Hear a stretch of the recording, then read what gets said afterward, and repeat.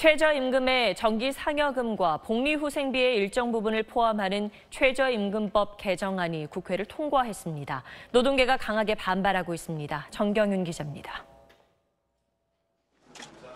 최저임금 산입 범위 확대 법안이 진통 끝에 국회 본회의를 통과했습니다. 내년부터는 기본급여 외에 정기상여금은 최저임금 대비 25%, 복리후생비는 7%를 초과하는 금액이 포함됩니다.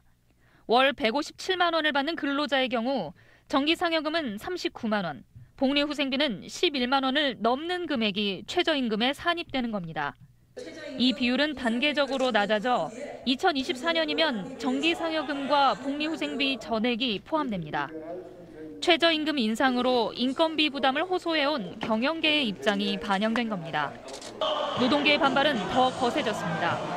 최저임금 인상 효과가 사실상 사라진 데다 복리후생비까지 포함해 저임금 노동자들의 현실을 외면했다며 국회 앞에서 총파 결의대회를 가졌습니다.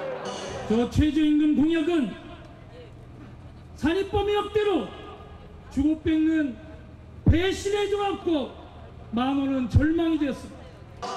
민주노총 조합원들은 국회로 진입하려다 경찰과 충돌했고 민주당사로 이동해 달걀을 던지며 항의했습니다. 한국노총도 내년도 최저임금을 결정할 최저임금위원회 참여를 거부하겠다고 밝혔습니다. 노동계가 연이어 사회적 대화기구에 불참하겠다고 선언하면서 후폭풍이 만만치 않을 전망입니다. SBS 정경입니다.